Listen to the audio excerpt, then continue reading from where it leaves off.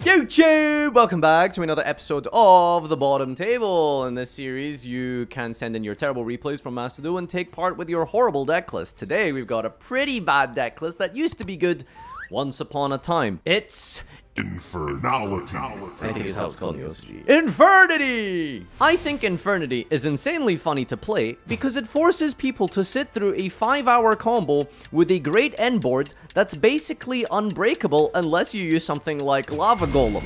LOL. He put that in parentheses in a new paragraph, lol. The idea is to empty your hand ASAP and get a loop going of being able to keep resummoning Infernity Archfiend in multiple ways. You can do cool things like summoning double Trish and Enter to empty your opponent's hand or making the fattest Apollousa with Baron and Infernity barriers.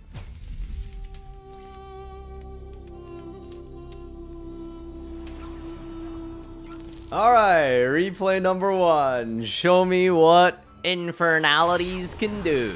This is the deck focused on, like uh, was mentioned, emptying your hand. The whole gimmick is that you have powerful monster effects that activate by uh, not having cards in your hand. They all have unique effects that way. This is why we're setting everything. Special summoning out Conjurer from the graveyard because we control no cards in our hand, which really, as you can see, conflicts quite badly with Called by the Grave. Uh, now, typically, I think this is what the uh, modern, quote-unquote, take of Infernity is. It's basically, unironically, Cherubini Turbo. If you go Cherubini, you can send Fiendish Rhino Warrior to send Sage to send Archfiend. So any way to get into a link to uh, Cherubini, plus a revival card like Monster Reborn, or Creepy Little Punk, or Link Succession, uh, allows you to bring back the Archfiend, and then you just go from there. So here we went into the Gares, and uh, now we're gonna go into Necromancer. And this is where the loop begins. Necro brings back Archfiend. Archfiend searches Lawn Chair. Lawn Chair brings back Necro and Archfiend, etc, etc. So let's see what kind of field we're gonna end on here. Okay, so we got Infernity Sage. We already have Revival uh, set there. It's Creepy Little Punk, so, you know, we can kind of uh, bypass that part here. So Infernity Sage also sends another Infernity monster. So you can see here we have basically what looks like it's an empty field, but it's not. We have a full graveyard of Infernity monsters. So Creepy Little Punk brings back Archfiend. Brings it back from the Banish Zone as well, by the way. And I think it summons it from your hand too. And now Archfiend, not once per turn, searches for an Infernity card. It brings back Infernity Lawn Chair. Which, surprisingly, is not a once per turn clause, because who would have anticipated that in the year 2012 or whatever, we would have needed once per turns. Infernity Sage is also a tuner, by the way, so that's how you keep uh, that little loop going. And there's another lawn chair. It's at, uh, it's at 2. Yeah, they brought it back to 2 recently. Why? Well, because this was going to be a good idea. Alright, bringing back Wildcat and Necromancers. We have another Synchro play here. We're going to go into Borreload Savage Dragon. Nice and thick because of the Saryuja. And then Archfiend is brought back once again, and we can finally search for our Omni Negate. If you don't know what Infernity Barrier does, if you control an attack position Infernity monster, you can negate and destroy any activation of a monster, spell, trap card your opponent uses. Alright, we're playing against DDD. I don't know why we're negating the field spell. Uh, to be honest with you, that, that that doesn't really do anything by itself. Okay, so now they're gonna try and... Okay, okay, we're just gonna... Listen, I'm not here to criticize. It's Infernity. Okay, Infernity Brain, once they've gone through a full combo and done their entire spiel, like, listen, I understand. All right, like, just negate. Like, like we're not just close your eyes. La la la la la. I can't hear you. Negating all your cards. It's like Drytron, but really bad. Yep, yep. Here's another monster effect. We're gonna use Call by the Grave to banish the discard for cost and Apollousa negate the Lamia. Oh, we're not gonna negate the Lamia? Or just gonna let the opponent have a Lamia? Yeah, surely they can't do anything with just a Lamia on the field in attack position, surely. Yes, okay. Well, that's to give you a demonstration of what the idea is with Infernity. What is this deck supposed to do? Well, that's it. It's Cherubini Turbo into Archfiend loops. That is how the deck functions. Alright, now you might be wondering, what does Infernity do when things don't go really your way. So, what have we got here? We've got, it appears to be a good hand. I think this makes, uh, I, th I think this makes uh, Cherubini. Oh god, alright, your opponent is going to have, is going to go first here. Yeah, so, question.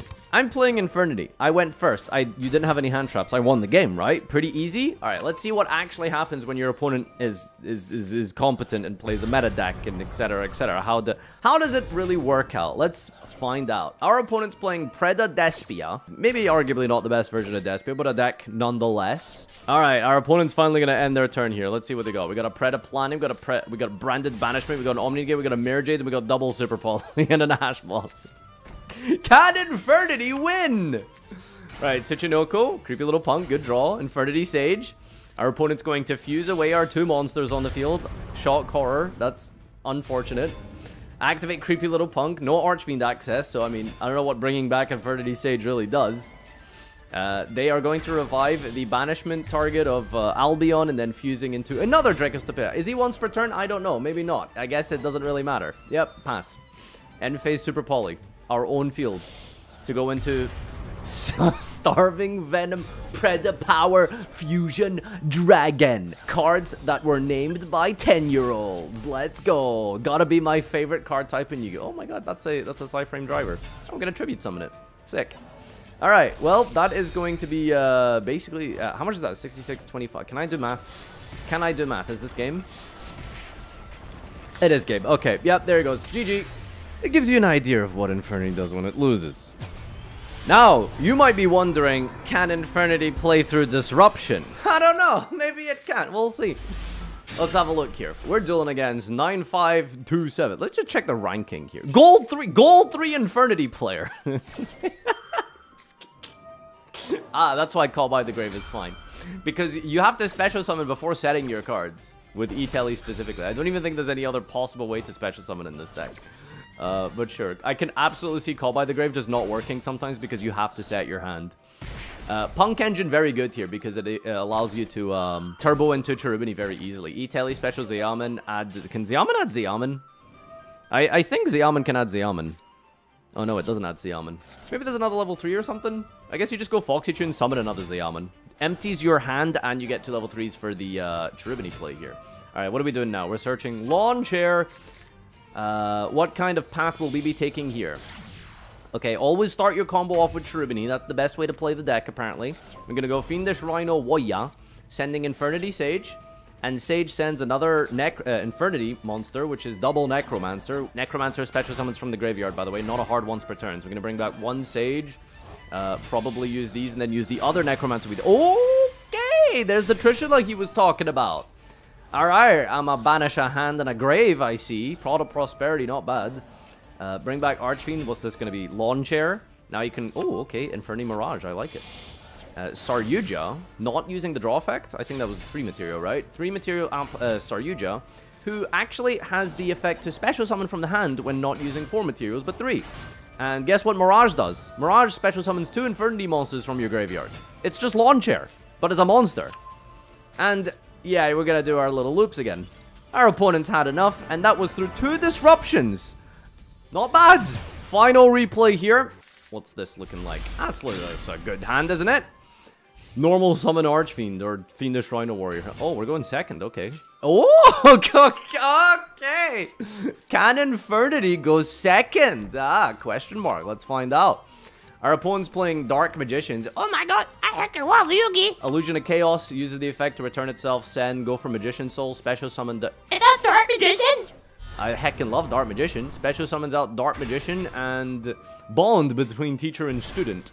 Summons out Dark Magic, uh, Dark Magician Girl and sets a Dark Magic attack. I feel like you're supposed to go for Dark Burning Magic or something, but it is Gold 4. It is, after all, just Gold 4. Alright, we're going to set some cards here. Our opponent's flipping up a Eternal Soul because they are going to... Special Dark Magician from the hand.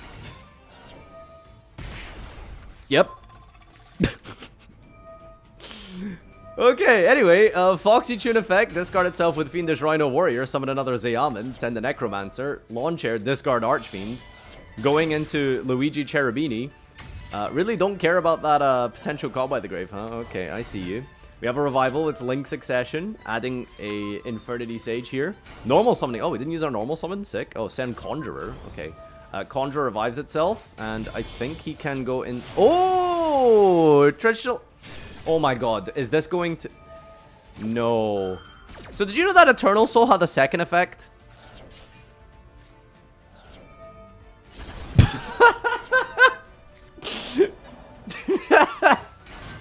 Wait for it. Wait for it. And there it is. Infernity to the moon, baby. Well, Here's the deck list. What does an Infernity deck look like in 2023? As mentioned, you're basically trying to turbo into Luigi Cherubini as fast as you can. It's the best card in your deck because it sets up your graveyard oh so well through the effect of Sage, Rhino, and Archfiend. 40 card consistency. E-Telly, Void Apocalypse, I guess there's a couple ways, different ways to play this. Maxing out on those revivals with things like Creepy Punk, Double Launcher, Monster Reborn, and okay, only 2 Succession. Uh, I don't like the number of um, Conjurers and Wildcats you're playing. I feel like I'd rather cut that down and just play more copies of Jackalope and Tsuchi Noko. Uh, but other than that, it looks like pretty, pretty good. It's it's Infernity. It's Infernity. I guess instead of playing three barrier, you can definitely cut that down to like some defensive cards. We probably need some go second cards in this deck. Maybe something like an evenly match would go really well. But yes, thank you everyone for watching this episode of the bottom table. Remember, wait till the end of this video to find out how you can send in your replays. And until next time, adios. So you want to take part on the bottom table. Do you think you have what it takes to finally set up your combo on turn 5 or set up an unbreakable field of 1.7 negates using 4 cards? Then look no further. The bottom table is the series for you. Create a short paragraph or two describing what your deck is, how it functions, and send in a clear screenshot of your deck list using the in-game Master Duel deck editor or the Yu-Gi-Oh card database as well as your Master Duel player ID, which replays that you are trying to showcase, email replay plays at farfa.xyz and show us what you can do. This has been The Bottom Table.